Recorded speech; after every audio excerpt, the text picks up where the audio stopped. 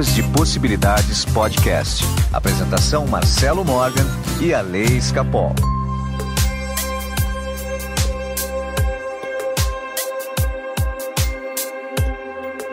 Olá, meus amigos do Ondas de Possibilidades Podcast. Meu nome é Marcelo Morgan e eu estou aqui com meu amigo Up, Alessandro Escapol.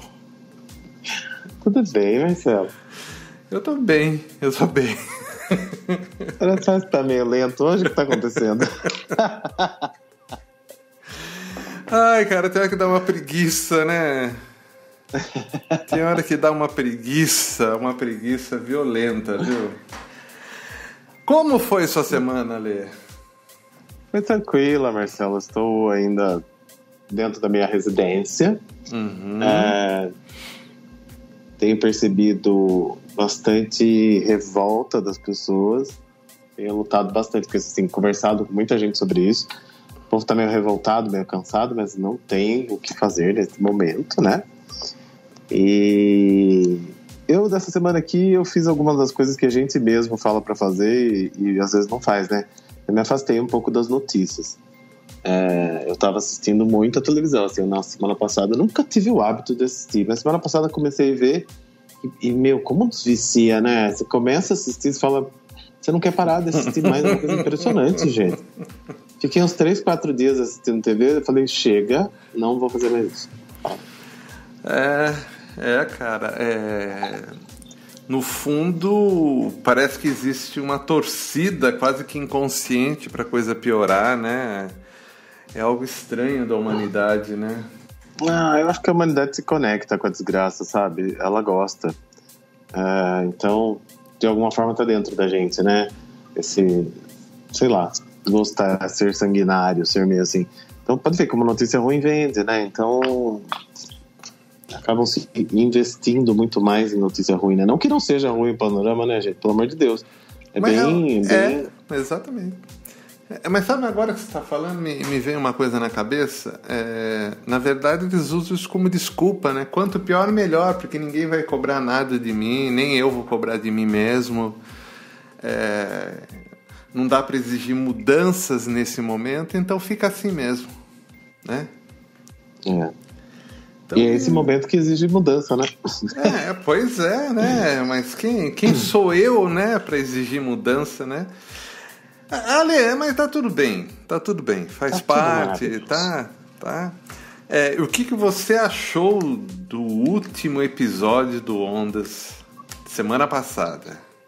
Achei uma palestra, gente. Eu escutei depois, porque eu falei, deixa eu ouvir de novo, porque enquanto eu tava gravando, eu estava ouvindo, né? Daí escutei de novo. É muito, muito conhecimento em poucos minutos, né? E se sabe que é engraçado? É, o retorno que eu tenho dessas, desses episódios que são extremamente profundos, ele é muito pequeno. Verdade. Ele é muito pequeno. Né? Agora, se a gente fala de qualquer coisa bem rasinha, qualquer coisa de como conseguir um namorado, como. É, qualquer coisa né, quase que bobeira, né? Né? Quase Sim. que. Aí tem uma repercussão, né? O que, que acontece ali?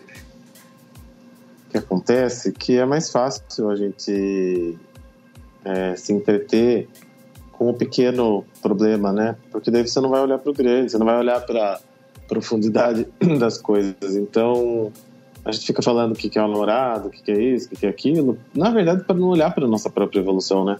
Quando evolui, o namorado vem fácil. Para escolher, inclusive. Mas é um caminho mais difícil, né? Então a gente fica se entretendo com fórmulas rápidas, simples e milagrosas e impossíveis. Olha, eu vou contar uma coisa que aconteceu. Eu tenho um desafio lá, agora que se tocou nesse assunto, vale a pena até eu dividir isso. Eu tenho um desafio lá no canal do Ondas no YouTube, que era 28 dias para você mudar sua vida. Tá? Uhum. E eu indico ali três frequências, uma para cada área: dinheiro, relacionamento, saúde. Eram esses três pontos, tá? No primeiro dia, no primeiro dia, é, eu tinha mais de 400 pessoas, dava quase 4, dava 420 pessoas que teve que eu consigo monitorar é, que estavam fazendo uhum. aquela frequência. Na semana seguinte já tinha caído para 200. Tá. Depois caiu para nem 100, 80 e pouco. E nessa semana que está dando uns 28 dias, deve ter umas 50 pessoas fazendo. Então eu só posso chegar à conclusão que as pessoas estão procurando uma ferramenta mágica. Não, eu engasguei. é tipo, mais mágica, né? Porque essa já é rapidíssima. Se for pensar bem, né? 28 dias para mudar um conceito na sua vida não é nada. Mas a gente vive, 28... Eu vivi 40, eu vivi 45 anos na escuridão. É, então, assim, 28 dias é um, uma coisa, né? Só que o que, que requer? Disciplina de 28 dias de escutar a porra do negócio. E a gente não tem essa disciplina. As pessoas não têm. Então, porque na verdade ninguém quer mudar, né? São poucos realmente. É. É. Que, vai que mude, né? Já pensou? Que, do que eu vou reclamar? é, pode ser isso. Pode ser realmente isso, né? Vai Enfim, mais uma vez, né? A gente. Mais uma vez a gente está aqui, a gente vai tentar levar conhecimento para as pessoas, vai tentar ajudar as pessoas a mudarem, mas eu tô ficando desanimado, viu? Não fique, Marcelo. Cada um tem seu tempo. Eu sei que cada um tem seu tempo. Só que o tempo do planeta é agora. É, né? É e eu sei que as pessoas não têm mais tempo. Né? Eu, eu, por muito tempo eu acreditei que cada um tem seu tempo. Só que infelizmente esse tempo acabou.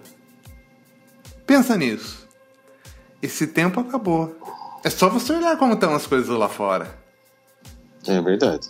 É... Parece que a, a natureza, né, o, sei lá, o universo ele não está aceitando muito desaforo, não.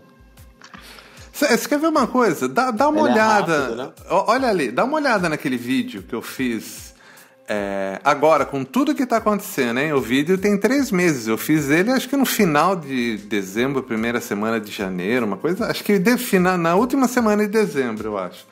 Uhum. Previsão para 2021 usando a radiônica. Lembra que eu fiz esse vídeo? Das frequências, que você verificou a frequência de cada Isso, coisa. Né? Isso, exatamente. Já aconteceu tudo que eu falei ali. eu tô falando, Marcelo. Eu tô falando que o mundo acabou e a gente ficou esquecido aqui embaixo. Eu acho, né? Eu acho que o tal do arrebatamento que os evangélicos estão esperando já aconteceu, já levou todo mundo embora aí. Que... A gente ficou, ficamos para trás. Gente, falando em arrebatamento, nós não estamos falando nada do assunto que, que, que a gente deveria, mas. Não, mas daí, pra quê? Ah. Mas olha só, eu assisti uns vídeos essa semana de uma menina que mora em Londres. Ela é brasileira, tem mestrado, doutorado, enfim. Não sei se eu já comentei com você sobre isso em programa, eu não tô lembrando, mas se eu já comentei, vou falar de novo. E tem toda uma estrutura para esperar o, a, é, sei lá, o grande fim do mundo, sei lá o que, não sei como ele chama, esqueci o nome lá. Mas assim, o quanto existem pessoas que estão se preparando mesmo para uma grande decadência, né? Então, ela fala que vai acontecer um problema na economia, que esse problema vai ser mundial, e que a gente não vai conseguir comprar comida, não vai conseguir comprar nada, tal, que a coisa está apertando, está apertando, está chegando, está chegando, tal.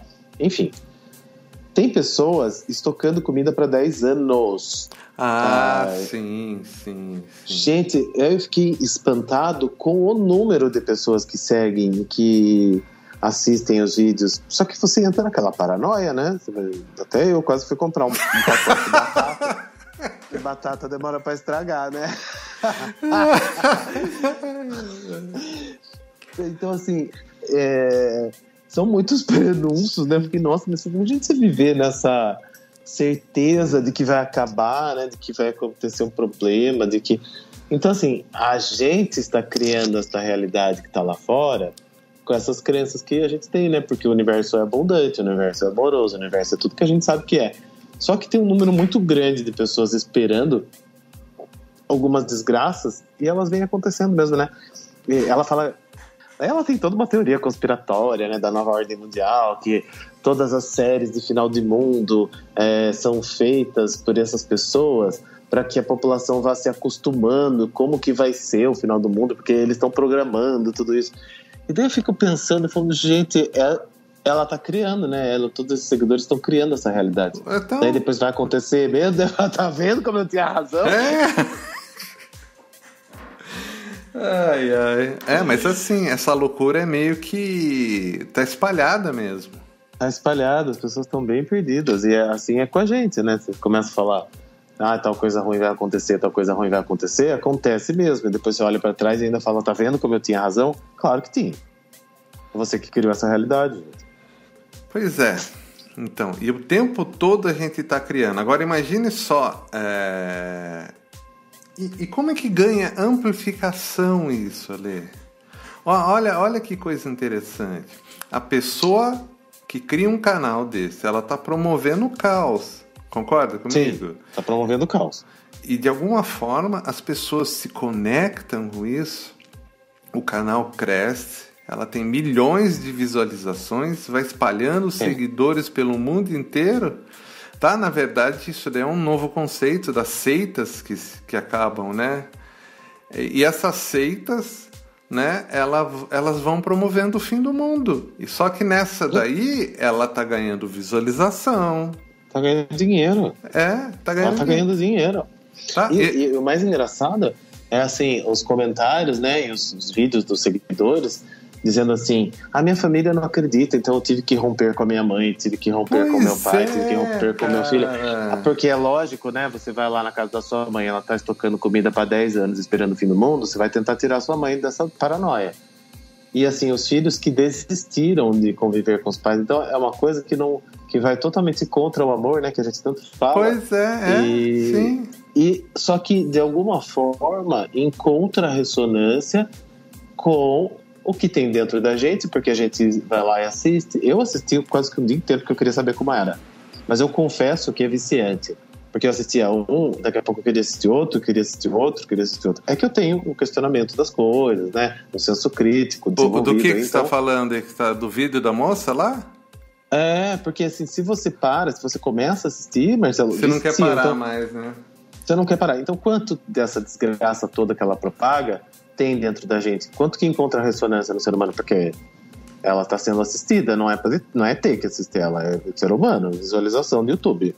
Você vai lá nos vídeos dela, é gigantesco. O canal dela no Instagram ela tem mais de 2 milhões de seguidores. Então, é, né? então, você vê como que aí tá tudo errado, né? É... E quando a gente se propõe a a fazer algo que leva esperança, que leva mudança, baseado no amor, a gente não chega nem perto disso. Não chega, porque não encontra ressonância com o que tem dentro das pessoas. Né? Dentro das pessoas. É... A gente não quer achar assim, olha, é, eu acho assim, a gente não quer olhar para dentro, né, e falar eu sou amor, né, o universo é amor e o melhor acontece é, e viver de acordo com isso. A gente quer saber, a gente quer controlar o que vai ser amanhã. Então é melhor acreditar numa teoria conspiratória da desgraça do que confiar em mim, no amor, no universo, né, na, na, na perfeita ordem das coisas. É, é, isso que eu acho que falta, sabe? Porque independente, tá, tá tudo bem que tá acontecendo tudo isso lá fora, tá ruim, tá, tem uma série de coisas, mas a gente tem que acreditar que o melhor sempre acontece, né? Ale, então, não quer acreditar nisso, porque a gente quer controlar, entendeu? Eu não quero, ah, eu, quero, eu prefiro saber que vai acontecer uma merda do que confiar que amanhã eu vou ter abundância, amor Sim. e tudo mais que eu preciso. Mas a gente nunca teve tanta oportunidade de construir algo novo como a gente está tendo agora. Eu, nenhum momento da história, eu acredito que tenha tido a oportunidade, porque já teve outras situações difíceis na história da humanidade, já, mas nunca com essa capacidade de comunicação das pessoas, né? Porque hoje eu tô falando aqui com você tem gente lá na Austrália ouvindo, e na Nova Zelândia, e na, sei lá, Piririca do Norte. Então, oh, não, a capacidade que a gente tem de transformar as coisas hoje é muito maior, ou seja, puta matéria-prima de transformação né, que está acontecendo no mundo hoje. Olha hoje, ali. de manhã. Ah. Pera, pera, pera só deixa eu falar, não, só, só, só uma coisinha. Essa história do mundo inteiro tendo oportunidade é uma coisa que todo mundo sempre quis. Uhum. Todo mundo poder ter sua chance de fazer alguma coisa. E o incrível é que ninguém faz. Nos anos 80, nos anos 90, no começo do ano 2000, era o que mais a gente ouvia falar. Eu não tenho uhum. oportunidade, eu não tenho oportunidade. Agora com o mundo digital, todo mundo tem oportunidade, mas agora se fala, mas o que eu vou fazer? Continua a ler. Mas não é o mundo digital o problema. É a gente. É. Né? É... Não é, ah, estou assim por causa das redes sociais. Não, a rede social é só uma ferramenta. Só uma ferramenta. Hoje eu presenciei, juro por Deus, de manhã eu acordo e vou passear com o Bud, meu cachorro. E eu presenciei a vizinha brigando com o moço que estava revirando o lixo que tem em frente da minha casa, porque ele estava deixando bagunçado. O coitado estava com fome, gente. Ela estava brigando com ele porque ele deixava sujeira quando ele revirava o lixo.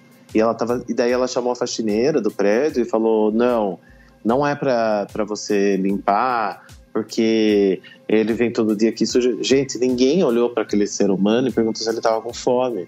Então eu subi, peguei uma marmita, que eu como marmita, né? Esquentei para ele e levei lá para baixo e falei, você tá com fome?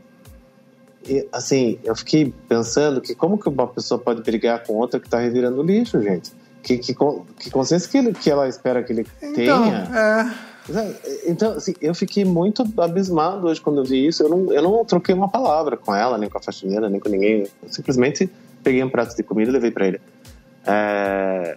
E daí eu fiquei pensando, eu falei, mas peraí, gente, ela quer que ele faça o quê? Que ele organize o lixo, que ele chega e fala, olha, aqui é recicláveis, aqui é, é só coisas amarelas, isso aqui eu vou encaminhar para o lixão, mas eu vou encaminhar para o Humberto de... Não dá, né, gente? O cara tá com fome, vai revirar o lixo, vai fazer sujeira mesmo. Né? Agora, por que, que aquele ser humano tá ali passando fome? Isso não, não né, não não atinge, isso não impacta a pessoa, que impacta a sujeira que vai fazer na rua. Então, assim, eu olhando, mentira que isso acontece, né? Como que então, pode, né? É, mas é, digamos assim que é, é uma parte da pessoa que está reclamando e essa parte ganha força por causa do caos, por causa do, uhum. do, do, próprio egoísmo, entendeu? É, mas a gente não pode desistir ali. A gente tem não, que não trazer pode. o melhor dessa pessoa para fora. Entendeu? É... É... Se a gente tem um conhecimento maior, uma iluminação maior, pouco que seja, a gente tem que transmitir a nossa luz. Sem né? dúvida. Tá? É o fato dela estar tá brigando com o cara que está revirando o lixo ali, com certeza tem muito mais coisa por trás. Não, não tenho dúvida. Foi exatamente isso que eu pensei. Falei, ela está passando por uma situação difícil também. Tá, Sim, todo exatamente. mundo tá, todo mundo está, então não dá para surtar com ninguém. É, então, eu, eu acho que é com exemplo, né, que a gente ensina as pessoas. Então, eu simplesmente perguntei, olhei bem para ele, né, você tá com fome e tal, vou lá buscar uma comida para você e trouxe e assim, não, porque naquele momento também, quando a pessoa tá na, na raiva, né, que eu percebi que ela tava na raiva, não ia adiantar muito eu querer convencê-la, né, daquilo que ela tava falando. Não, não sei se adianta muito, mas eu acho que adianta o acolhimento, né, então... Ó, é, talvez se você nem... tivesse um balde d'água e jogasse nela, fosse bom.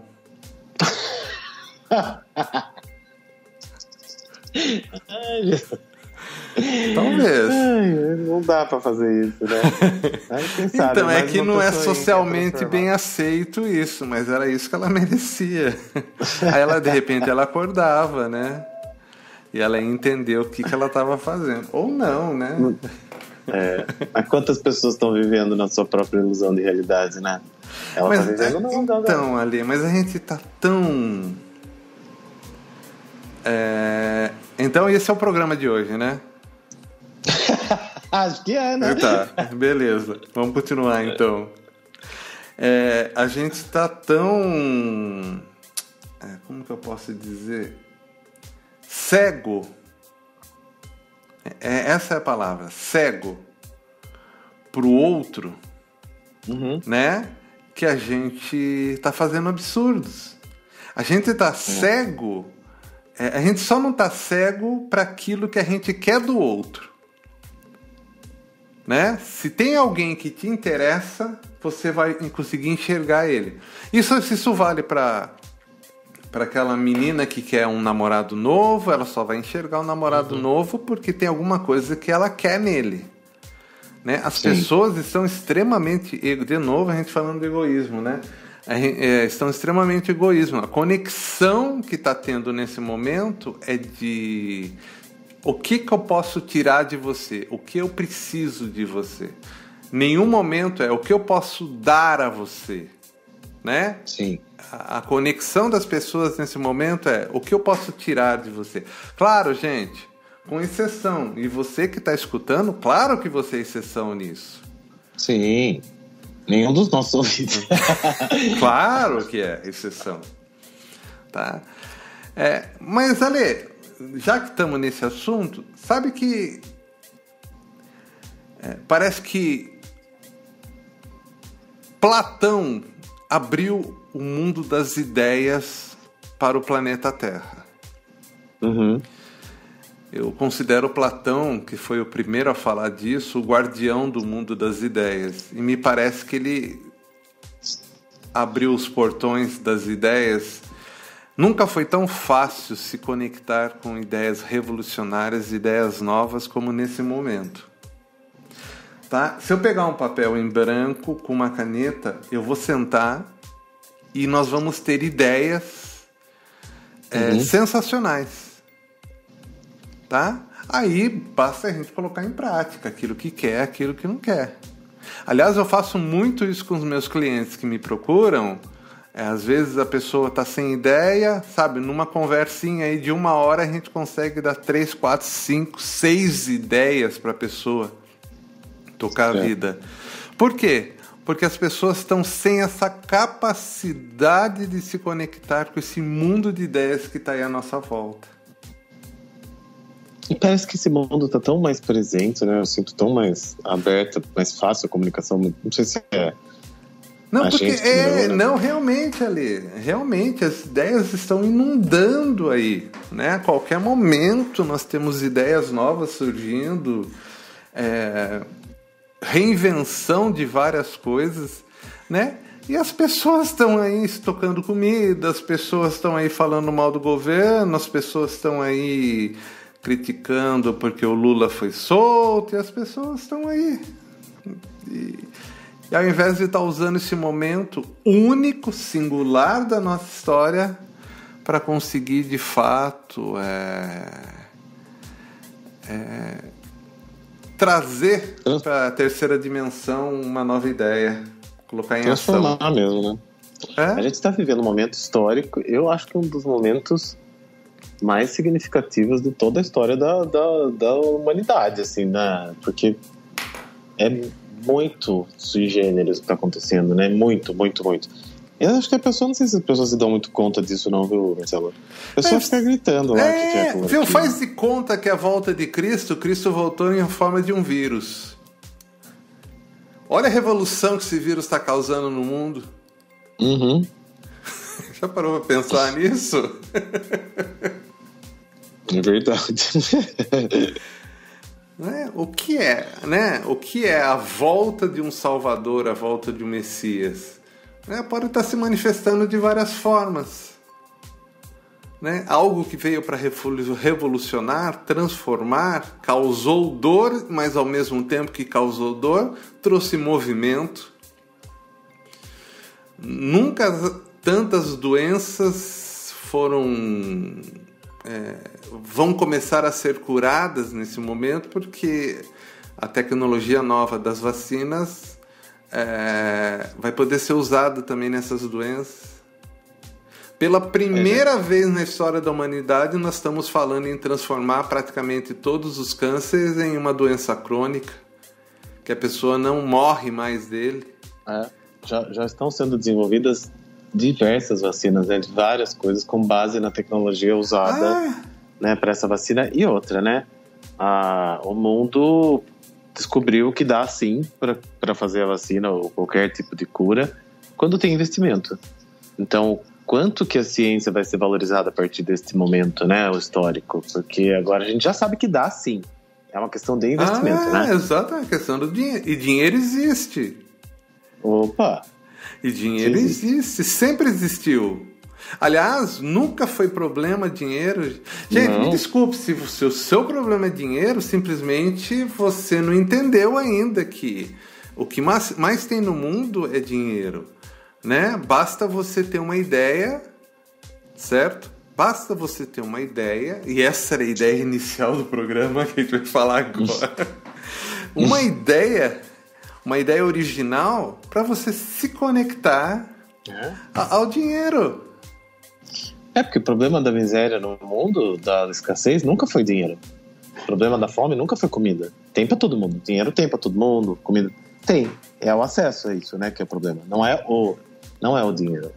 E o É. acesso talvez esteja exatamente onde você está falando aí. Exatamente. Olha ali, Que- é, pensa bem, né? Pensa bem. Você hoje, se você sentar a bunda na cadeira aí, você fazer sério o negócio, você vai criar um cursinho digital do zero, certo? Uhum. E esse cursinho pode te dar um milhão de reais.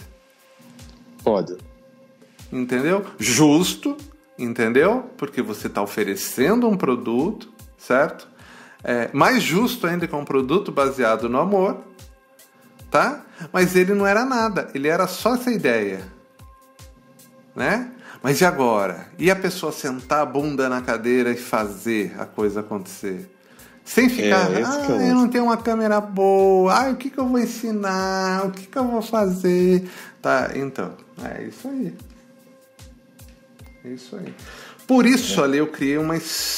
Eu tô criando aquelas histórias para dormir. Se você não viu ainda no canal lá do Ondas no YouTube, é, é muito legal, gente. Imagina só. Histórias para dormir e sonhar com ideias milionárias. Esse é o título do vídeo. Ó, pensa bem. Histórias para dormir. Já chama atenção, porque a pessoa está precisando dormir né, no meio dessa, né? E sonhar com ideias milionárias. Tá? A história proporcione que você se conecte com essa riqueza. É uma história Gente. totalmente subliminar. Que legal. Eu ouvi ontem, mas eu não ouvi. Mas agora acho que eu vou tirar a bunda da cadeira e vou dormir. E só que é o seguinte, gente, não adianta você escutar, sonhar e não pôr em prática. E a primeira Exato. forma de você pôr em prática é dormir com um caderninho para anotar a ideia. Bom, pense É. isso, esse produto aqui eu disponibilizo de graça. Ok? Disponibilizo Uhum. de graça. Esse produto é um produto digital. Se eu quisesse cobrar 100 reais por isso, ia ter gente que ia pagar. Sem dúvida. E se eu fizer a publicidade certa, ia ter gente. Isso daqui ia virar um milhão, dois, três, quatro, cinco milhões. Tá? Porém, porém, eu crio mais riqueza no mundo fazendo dessa forma.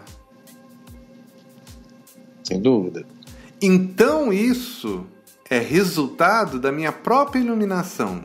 Então você vai criar riqueza para você ou você vai criar riqueza para o mundo?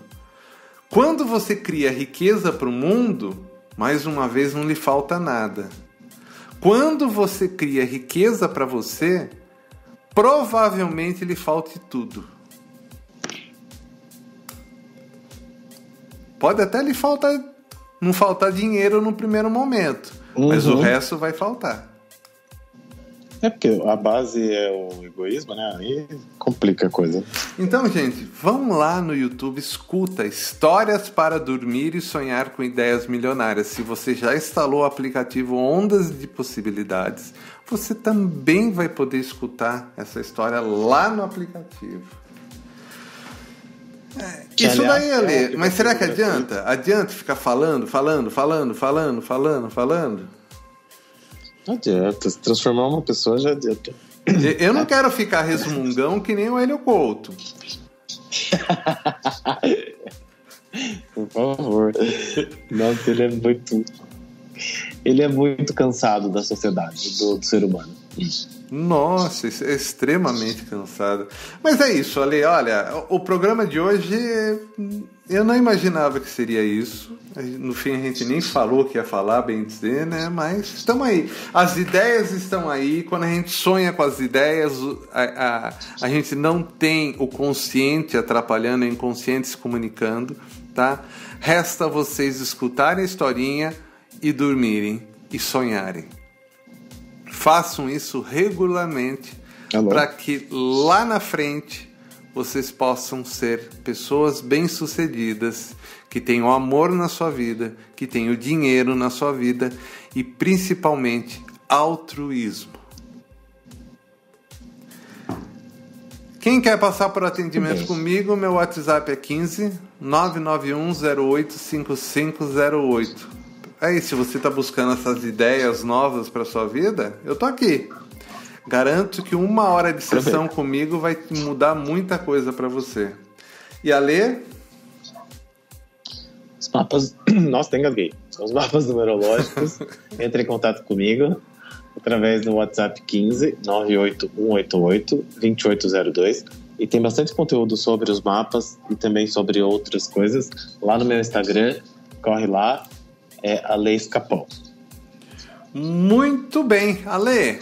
Valeu pelo programa de hoje, ouvintes. Estou esperando mais de vocês. Até mais. Até. Ondas de Possibilidades Podcast. Apresentação Marcelo Morgan e a Lei Escapol.